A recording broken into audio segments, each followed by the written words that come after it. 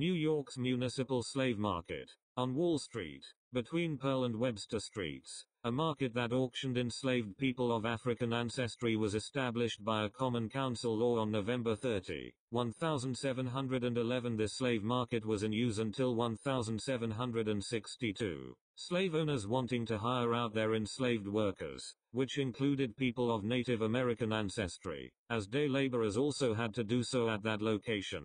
In 1726 the structure was renamed the meal market because corn, grain and meal, crucial ingredients to the colonial diet where also exclusively traded there slavery was introduced to Manhattan in 1626. By the mid-18th century approximately one in five people living in New York City was enslaved and almost half of Manhattan households included at least one slave. Although New York State abolished slavery in 1827, complete abolition came only in 1841 when the state of New York abolished the right of non-residents to have slaves in the state for up to nine months. However, the use of slave labor elsewhere for the production of raw materials such as sugar and cotton was essential to the economy of New Forest land for the construction of Broadway and were among the workers that built the wall that Wall Street is named for and helped build the First Trinity Church. Within months of the market's construction, New York's first slave uprising occurred a few blocks away on Maiden Lane, led by enslaved people from the Coromantee and Pawpaw peoples of Ghana.